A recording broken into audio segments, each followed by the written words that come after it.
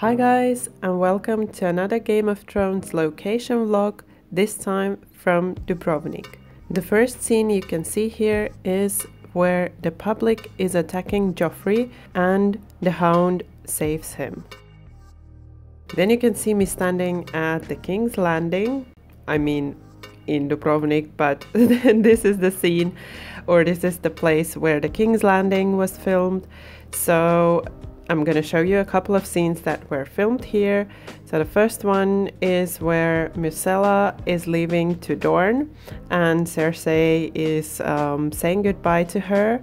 And the same place was used when she was coming back uh, from Dorne. Well, she wasn't really coming back, but yeah, if you watch the series, you know what I mean. So you can see uh, the whole scene um, or the whole place was actually used mostly as it is. So they change a little bit some things, but it's pretty much the same as it is in real life.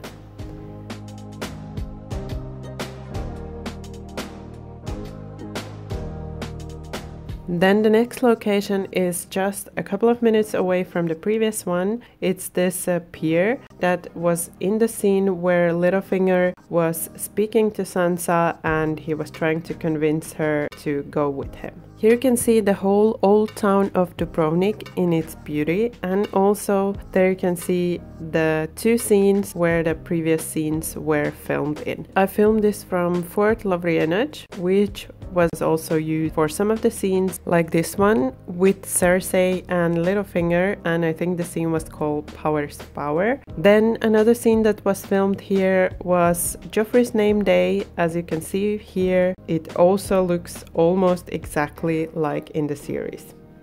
Pretty exciting, huh?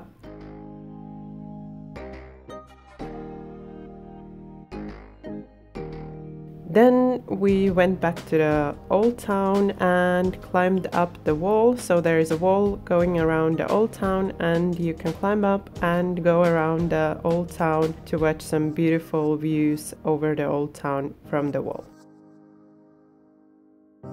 That's the Fort Lovrijenac again. So all of these locations, they are really close to each other and it's enough to take just one day to see them all. On the wall was filmed a scene with Tyrion and Varys. Not sure what they were speaking about, but it was filmed on the wall. And here you can see the Lokrum Island. We didn't go there, but I thought of mentioning it as some of the scenes were also filmed there. Like the scene here where Daenerys was visiting or was in the city of Qarth.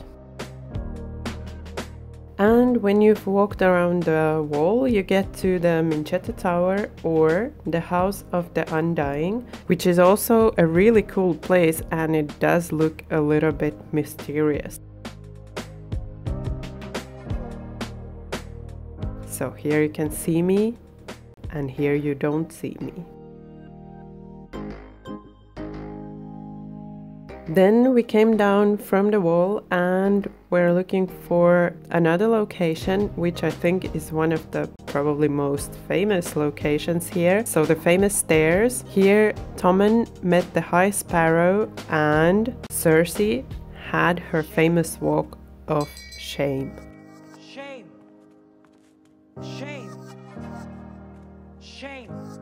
There is one more place I want to share with you. This is not mentioned in most of the websites. Uh, it's a hotel, an abandoned hotel that was destroyed during the war.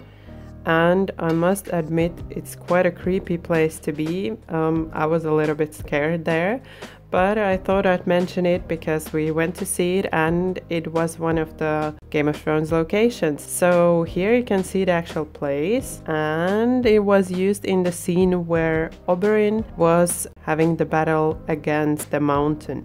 I hope you enjoyed these locations as much as I did and if you're in Croatia, definitely go to Dubrovnik and visit these scenes if you're a fan of the series.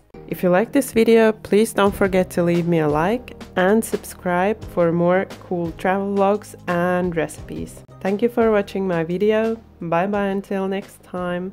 You didn't like my video yet?